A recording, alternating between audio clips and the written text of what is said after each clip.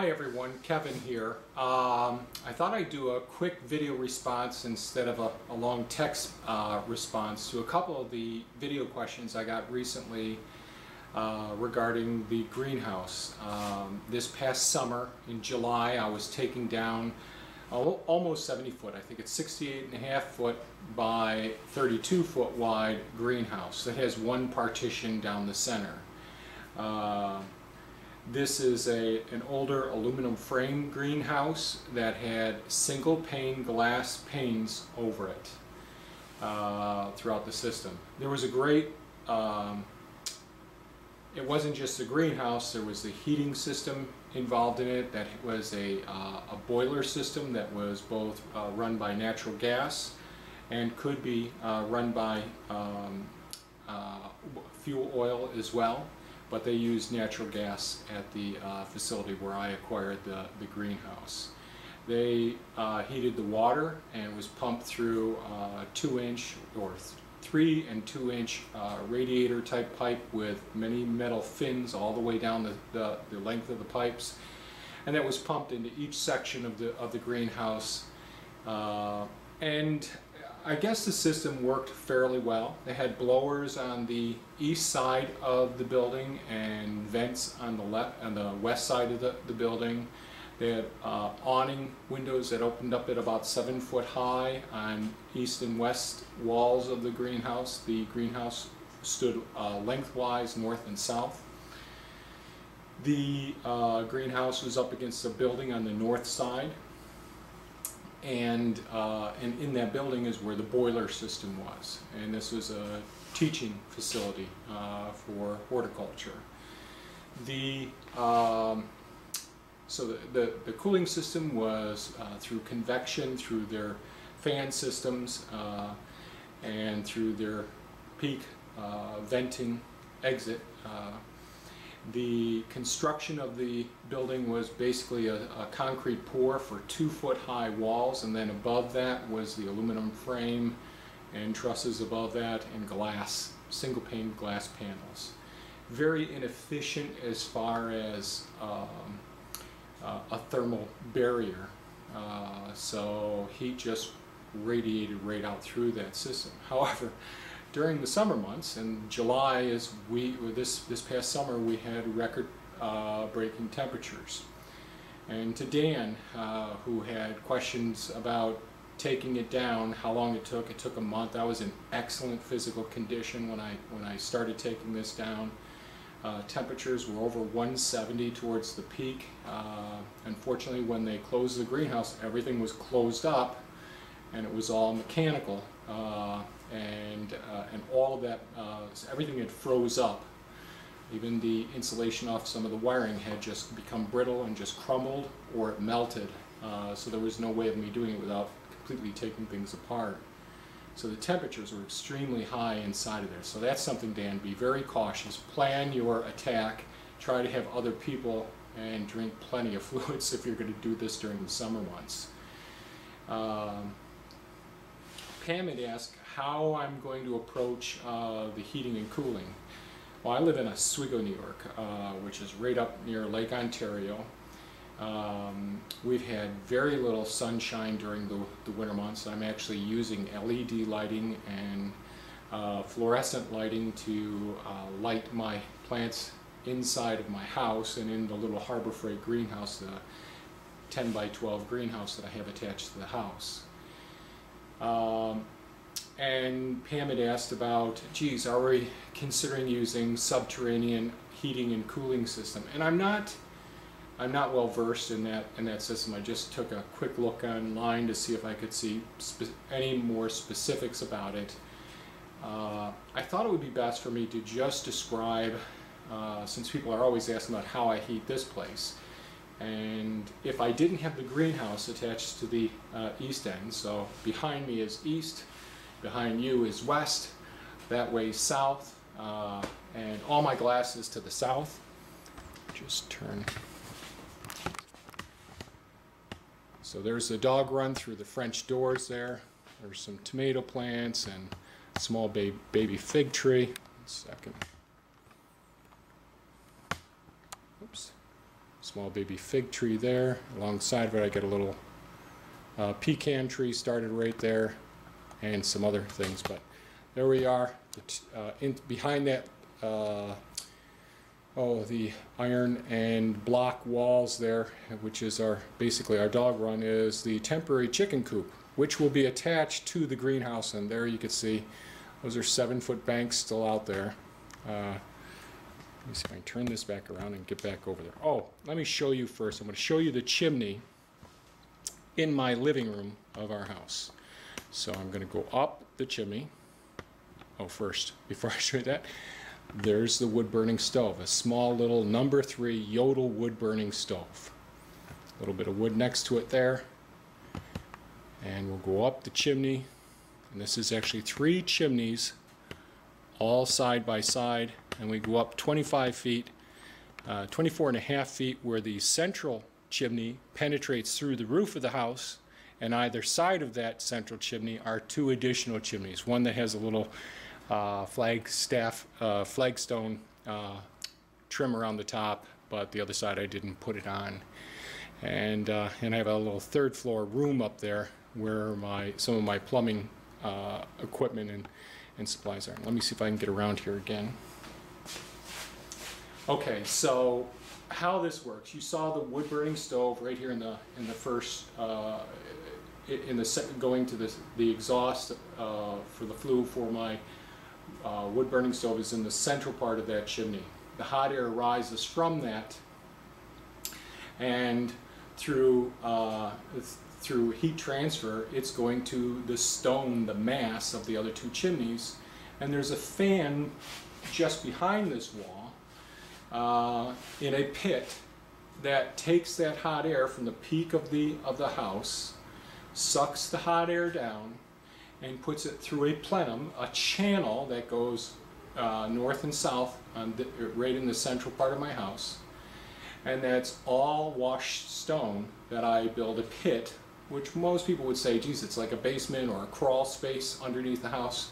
Well, I built these metal channels, wrapped them with, with steel, and placed in the center of, the, of that whole pit uh, uh, 300 tons of washed stone. And that's my thermal mass. That's where I store the heat. And we use convection currents by one single fan right behind the wood burning stove here, behind this wall. There's a small pit that you can go down into. And those two chimneys open up. There's a fan just to the opposite side with an air filter there and it just takes that warm air from the peak, sucks it down the chimneys, and go, goes in through the thermal mass down below the, the, the slab on the rest of the house. So, so there's, when I built this place, most of the effort went into what's really subterranean here. And so there were footers poured all the way around for a standard footer for a foundation. And there was insulation laid uh, along the inside of what most people would consider a crawl space or a, or a, uh, a cellar-like area, but not a full height cellar. And then a concrete floor was poured on top of the insulation. Oh, I'm sorry, there was vapor barrier sealed on the inside of that and on the outside of the block wall as well. So, and I would do it a little bit differently as I'm, I'll mention in a moment with the greenhouse. So here I've got this cavity filled with stone where air can flow between the stone, come up through another plenum, another steel chamber on the east side of the house, and come up through ducts and release it to the second floor. And as you saw up there, you could see that there's an open envelope to the house. So the air can flow through the house. So as I pump air down, it's not going into a closed room that's sealed off. It's actually flowing out. As the heat rises again, it'll go up towards the peak and then I draw it back down. Now during the summer months, I just open up skylights or open up windows and the heat goes up and I allow that to go out. And I take all the cool air from the evening hours that I'm pumping down into the, into the thermal mass and I'm keeping the house nice and cool. Also, what I did when I built this house is, this is a post and beam construction house, and I really didn't show that very well.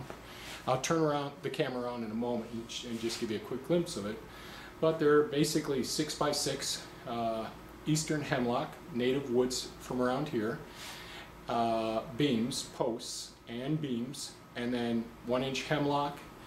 Then on the outside of that, uh, 5 8 inch drywall, which is a fire stop, a fire barrier. And then two layers of 6 mil uh, plastic polyethylene that was sealed, duct taped. And then on, on the outside of that is I put 4 inches polyisocyanurate, a really nice insulation. Then another layer of hemlock, then a 1 inch airspace, and then another layer, and then 5 8 inch T111, and then so on and so forth on out. There's also one layer of aluminum around that as well. Right, I won't go into the reasons for the, for the aluminum. However, so the house is sealed up very, very well. And it's the opposite of what we can do with a greenhouse. So when people come and they ask advice, geez, I want to build a building and all, and I really don't want to pay energy bills. Like, I haven't paid energy bills in over 30 years. Uh, and I'm talking about heating and cooling energy bills.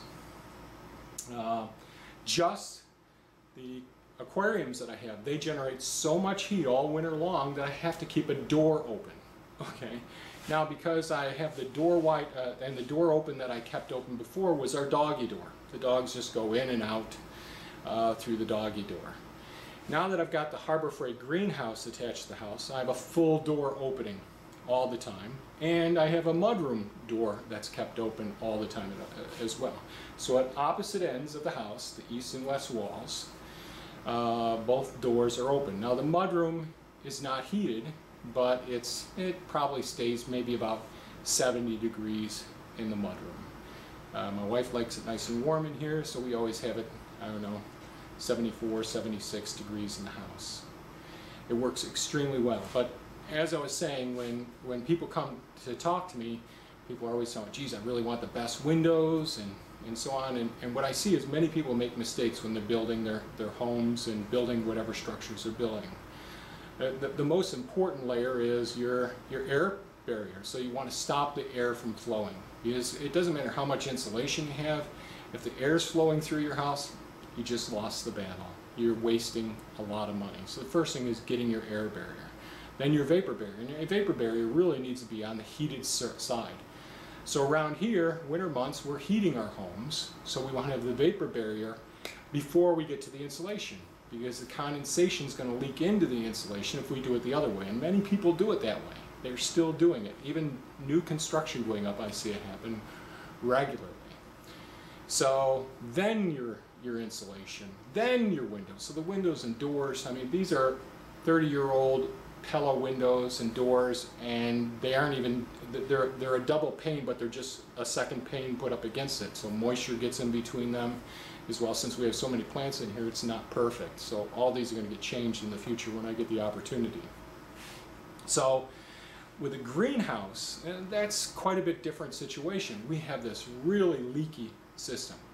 We can have a pretty good air barrier and we can have a good vapor barrier to a certain extent, but we can't give it much insulation. So uh, doing as much insulation as you can around some thermal mass is my idea. And, uh, and then we can use convection currents like your subterranean heating and cooling system. Uh, you're just blowing the air by the thermal mass, like the stones here in, underneath this house. You can use water tanks, like the 275 gallon water tanks. That's one of the things I'm considering doing.